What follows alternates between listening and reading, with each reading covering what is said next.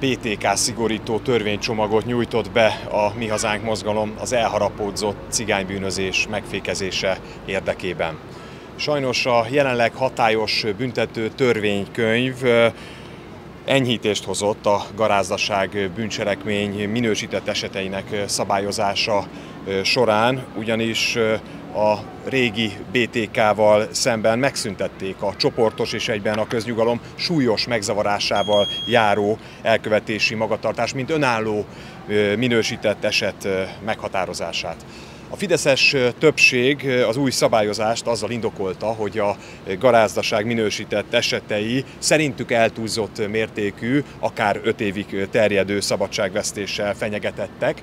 Ezért végül most a hatályos BTK-ban enyhítést hozva a garázdaság minősített eseteit legfeljebb három évi szabadságvesztéssel rendelik csak büntetni.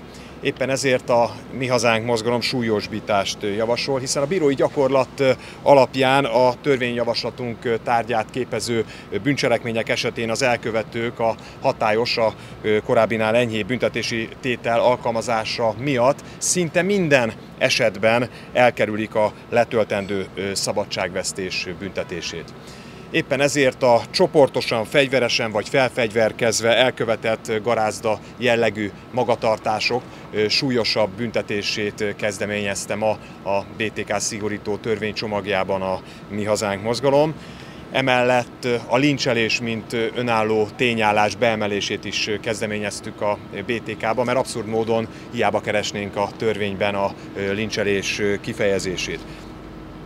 Ezen túlmenően pedig a legújabb tragikus fejlemények nyomán a biztonsági őrök terhére elkövetett bűncselekmények súlyosabb, minősülés, súlyosabb minősülésének megteremtése érdekében a közfeladatot ellátó személyek fogalmának kiterjesztését célozzuk valamennyi biztonsági őrre, szemben a törvényjavaslat előtt, törvényjavaslat előtti hatályos, jelenleg hatályos szabályozással, amely csak a fegyveres biztonsági őröket tekinti közfeladatot ellátó személynek. Mindeközben a négy éves országgyűlési ciklus legmagasabb bírságával 5 millió forintra büntetne a házelnök engem a Mi Hazánk mozgalom képviselőjeként a cigánybűnözés említése miatt, pedig e kriminológiai szakifejezés használatát már 2010-ben is jogszerűnek minősítette a legfelsőbb bíróság a közmédia egy hasonlóan önkényes tiltása esetében. Ha a cigánybűnözés szót betiltanák, akkor ennyi erővel politikus bűnözésről vagy fiatalkorú bűnözésről sem beszélhetnénk, pedig egyik sem általánosító, pusztán bizonyos tipikus bűnelkövetési formákról, illetve azok visszaszorításához szükséges specifikus megoldási javaslatokról van szó. Fellebbezésen miatt szeptemberben az országgyűlés hoz végső döntést a büntetésről, ami olyan abszurd, mintha egy sportmérkőzésen a rivális csapat döntene a sárgalapokról.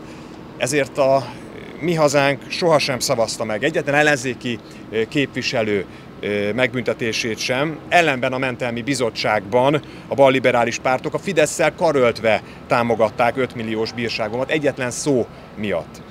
A társadalmat sújtó ö, probléma megoldása helyett tehát ö, polkorrekt strucpolitikát folytat a kormány és balliberális ellenzéke is, lassan pedig már a cigány szót sem szabad kimondani.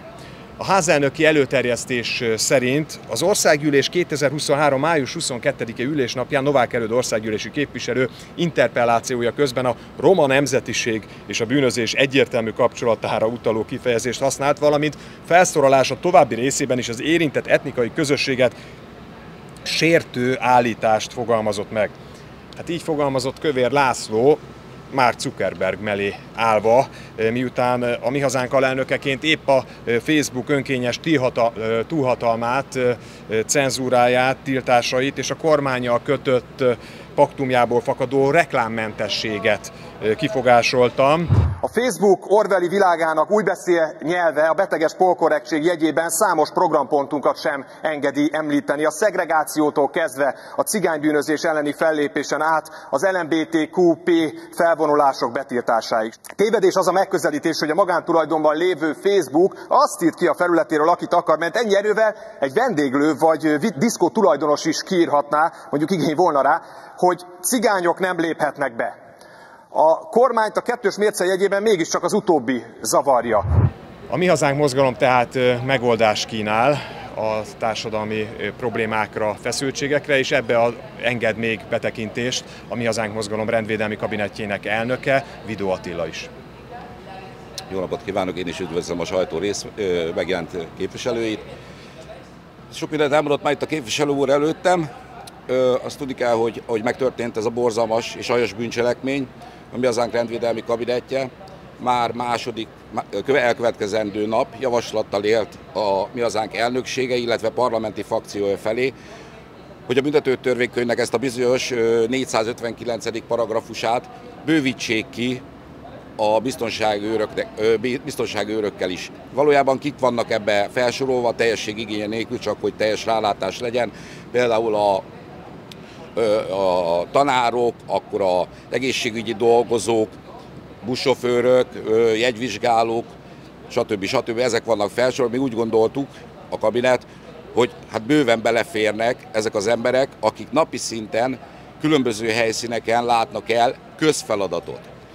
És akkor itt is a teljesség igénye nélkül, mert sokszor észre se veszük őket. Itt voltak most például az augusztus 20-ai rendezvények, itt is ezek a biztonsági őrök dolgoztak, szolgálatban voltak, de ott vannak a kórházakban, ott vannak a közintézményekben, nagyon-nagyon sok helyen, és ahol a legtöbb munkájuk talán adódik nekik, amivel találkozhat bárki, például a nagy üzletláncoknál, a plázákba, ott, ott például napi szinten éri őket atrocitás, mivel hogy sajnos, és akkor csatlakozva a képviselő úrnak, amit mondott, igenis a lopások, rablások az igenis a, a cigánybűnözésnek az egyik ága, és nagyon sűrűn követnek el ezekben a boltokban kisebb, nagyobb értékre lopásokat, és ezeknek a biztonsági őröknek kell elsődlegesen fellépni ellenük, valamint a plázákban nem ritkaság az, amikor alkoholos befolyásoltság alatt ezek az emberek ö, antiszociálisan viselkednek.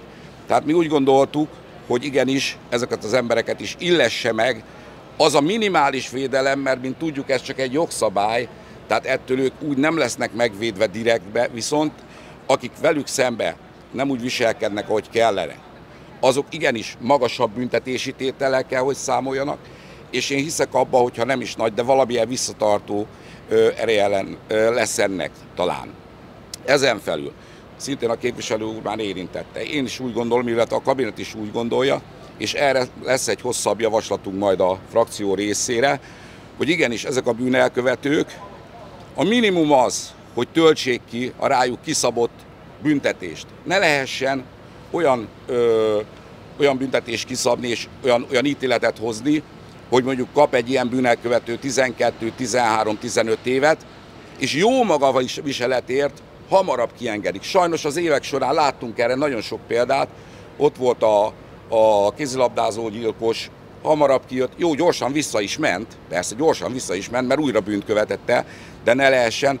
Ha már jelen pillanatban nem lehet azt kérni, amire azért a magyar társadalomnak egy igen széles rétegének volna igénye, hogy az ilyen aljas bűncselekményt elkövetőkkel szembe igenis a legsúlyosabb büntetést szabják ki rá, tehát azt nemzetközi megállapodásaink tiltják, gondolom önök is tudják, hogy miről van szó. És ehhez kapcsolódóan még egy fontos dolgot szeretnék elmondani. A kabinetünk a napokban végzett egy ilyen kis telefonos felmérést a rendőrkollégák, illetve a leszerelt rendőrkollégák körében. És hát én magam is meglepődtem, amit elmondtak nekem. Az igazoltatások során 10, es, tehát 10 cigányember esetéből 9-nél találtak pontosabban nem igazoltatásnak hívjuk ezt, hanem szaknyelven elszámoltatásnak, találtak náluk olyan szúró-vágó eszközt, ami az emberi élet kioltására alkalmas. Hát én úgy gondolom, hogy ez mi sem bizonyítja jobban, mint ez azt, hogy igenis vannak olyan bűnelkövetési formák, amik erre a rétegre vonatkoznak, illetve ők követik el. Én úgy gondolom, hogy most sincs például egyikünknél se bicska. Mert miért lenne? Ja, és akkor még egy fontos dolog, természetesen ezt a, a, a, például a bicskát, azt nem azért hordják maguk, hogyha útközben megéheznének, akkor valamit ö, el tudjanak fogyasztani. És akkor a, még a végére annyit, hogy én remélem, hogy a házelnök úr engem még nem tud megbüntetni, azért megkiejtettem ezt a szót, hogy cigánybűnözés és hogy cigány. Igaz, nem lehet soha nem lehet tudni, hogy a ház fura ura éppen, éppen mit tud elintézni és mit nem. Letelt a két hét, ezért is tüntetünk a büntető törvénykönyv szigorításáért, illetve a cigánybűnözés ellen az érdi gyilkos Békés Csabai esete után Budapesten, a kőbányai börtön előtt augusztus 29-én kedden 18 órakor. Rendet, csendőrséget!